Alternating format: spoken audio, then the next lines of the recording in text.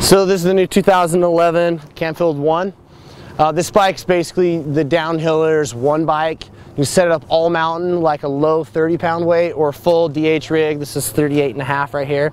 It's an eight inch or seven inch with the two and three quarter stroke, or you can drop the stroke down to the two and a half and get the six and a half inch to seven and a half inch. It has downhill race geometry with a 64 1.5, uh, 13 8 BB, and a 17 3 chainstay with a very traditional, really lively wheel path that's very vertical in its in its uh, you know arc.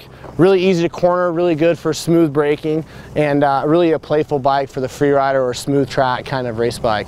Plus an all mountain bike when you're uh, you know super Dean or all mountain riding.